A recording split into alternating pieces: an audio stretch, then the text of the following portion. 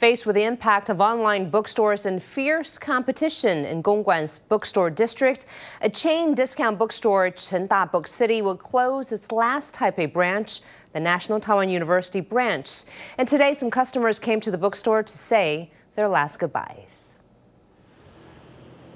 The sliding door today had not yet opened as book lovers queued at the door. After today, Chengda Book City will not have any bookstores in Taipei.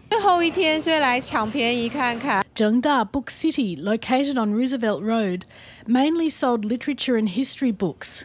With books discounted at 25% and winning acclaim from enthusiastic customers, visitor numbers had reached a daily 1,000. At least 200 people would also buy books, but the book chain in the end lost out to rental pressures.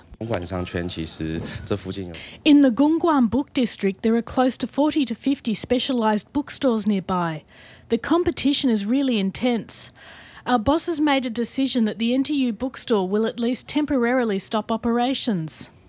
Five years ago, its National Taiwan Normal University branch saw its lease expire and became an online bookstore instead. With the closure of the NTU branch, this book chain, with 20 year old roots in Taiwan, has formally left northern Taiwan, leaving patrons feeling very sorry. It's like losing an old friend. Some visitors did what they always did pick up and read a book. On the last day, the book lovers came to say goodbye to the bookstore that had accompanied many patrons as they grew up in a scholarly world.